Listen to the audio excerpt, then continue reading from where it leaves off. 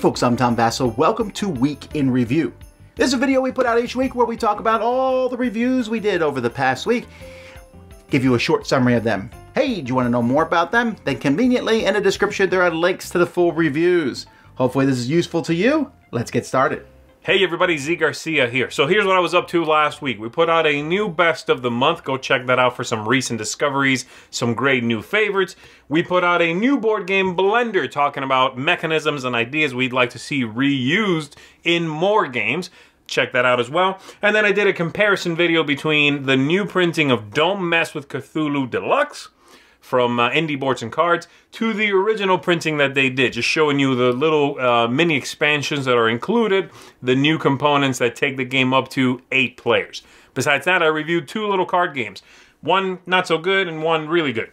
So the first, Life is Life. This is a small card game in which you are going to be trying to collect sets in your hand and then compare those sets to everybody else's sets in their hand. There's a lot of scoring. Count how many cards you've got of this. Okay, write that down. Count and then. And it's a really slow paced kind of game, you know, it just kind of takes a while to do any little thing. There's a lot of shuffling. You're dealing out 10 cards to everyone. You set out a display on the table. It's slow. The ratio of gameplay to just manipulating stuff is not great. The other game is the exact opposite of that. It's a game called Kariba. This is a tiny little card game, very portable. And in this one, you are spending very little time scoring, very little time taking your turn, and moves along at a great clip. It takes about 10 minutes if you play with two players, and I've been playing this two players a lot. And you are simply making sets of animals on the table, and then those animals capture the next lowest available animal. So once I play three sevens, if there's any sixes, I'll take them. Of course, as soon as there's three sevens, you bet everybody's on the lookout for some eights, so they can capture those sevens and they can even go above three cards. Sometimes you have a great big old stack, and once you get to the third, you would capture the next lowest. So no one wants to play the first one. You either want to play all three at once, or wait for someone else to play one, and then boom, boom, one, two, and you do it. So it's fun. It's a, a little bit of a game of chicken, engaging, as simple as it gets, but what a beautiful little filler. That's Kariba. And that's it for me. I will see you all on the next one.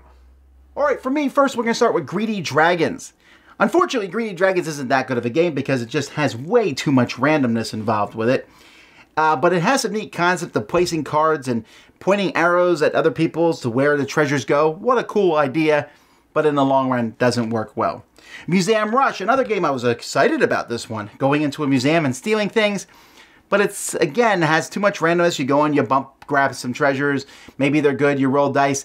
It has some neat concepts, but doesn't really congeal into a good game.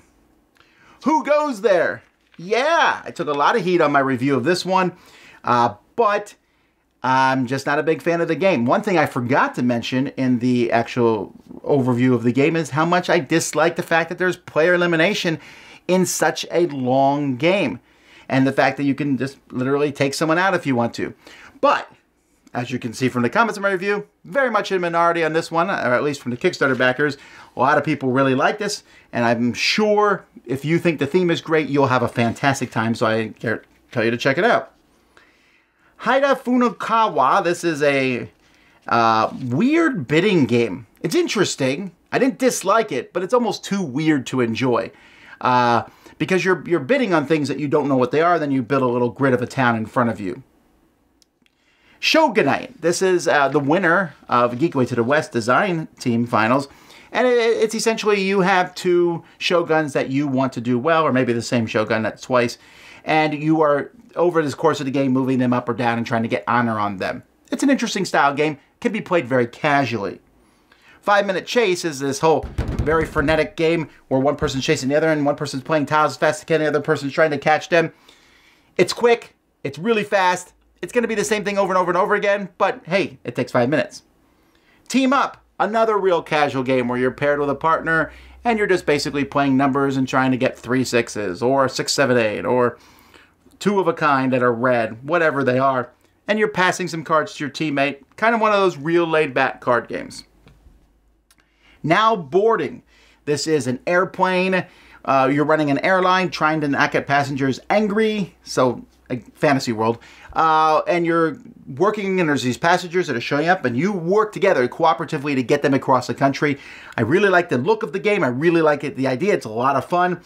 I, I don't know that it has a huge amount of diversity. It's going to play the same way each time, but I still enjoy it. Tragic Events expansion for Flashpoint Fire Rescue. This adds some event cards and a way to just, it gets rid of the hotspots and replaces that. Also adds a, a few more guys. A solid expansion for the game. Ninjitsu. I did not expect to like this one very much, but it's hilarious fun as you're placing cards in front of you face up or face down. You can steal cards from other people, but sometimes it will blow up in your face to some degree. Silly a little artwork, fun for kids and adults. I recommend it. Lowlands. I was very pleasantly surprised by this one. It looked like every other Rosenberg game. In fact, it's in the Rosenberg line, even though he didn't design it. And it's a game where you're trying to uh, block the water coming in over the dikes, build dikes up, get a lot of sheep. Very great, cool mechanisms, and a lot of interaction for a Euro game, something I'm not used to. Expancity. This is a city building game with some amazing components. It looks fantastic when you're done. Uh, when I was done with the last game of it, I took some pictures. I was just so impressed with how the game came out. Just a lot of entertaining, neat things in it.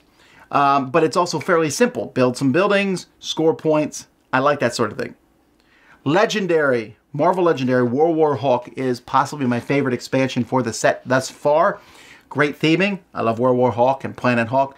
Lots of cool mechanisms, transforming cards into other cards, outwit. There's some really neat stuff in there including transforming masterminds. Just great stuff. And then Root. What an amazing asymmetrical game this is from the same company that brought us Vast and uh, from the same designer who brought us John Company, which is a much heavier game, taking, from what I understand, the coin system and bringing it, uh, which is a more complex war one, and bringing it down to where it makes sense, but with four very asymmetrical factions. The cats who rule the land, the woodland creatures who are up in arms against them, the birds who want to make their own empire, and then a vagabond who's wandering around helping who he so may desire.